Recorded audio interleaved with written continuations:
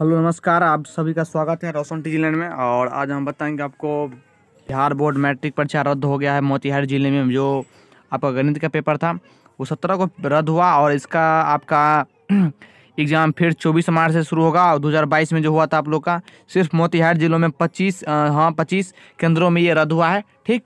तो आपको हम पूरा का पूरा डिटेल में बताते हैं, जो आपको समझ में आए, ये देखा, दिखाई दे रही आपको। देखिए सत्रह दो हज़ार बाईस को आयोजित गणित का परीक्षा रद्द किया गया है और चौबीस मार्च को फिर पुनः ये लिया जाएगा, ठीक? और कितने केंद्रों पर? पच्चीस केंद्रों पर ये रद्द हुआ है, ठीक? आगे चलते हैं हम। आगे आपको हम दिखाते हैं किस किस सेंटर में हुआ है आपका रद्द। उसमें आपको बताते हैं हम। पहला है, आ- आ- आप आप सेंटर कोड में जो दिए होंगे एग्ज़ाम, उसी में आपका है, ठीक? और उसी में आपको दिखना होगा जो मेरा किस कॉलेज में था, उसी का कोड हम बताएँगे। कॉलेज का नाम बताए, नहीं बताएँगे, क्योंकि वीडियो बहुत लंबा हो जाएगा, ठीक ना?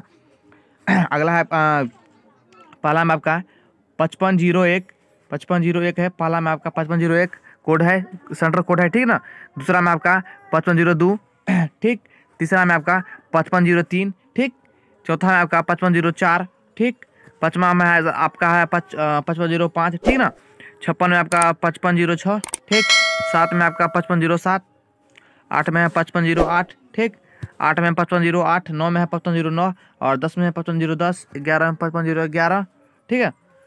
बारह में पचपन पचपन बारह और तेरह में आपका पाँच पाँच तेरह, ठीक? अगला आपका इसी तरह आपका पंद्रह तक कहाँ तक गया है?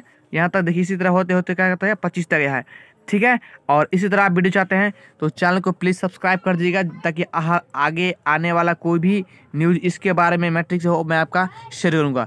तो जय हिंद बंदे मातरम।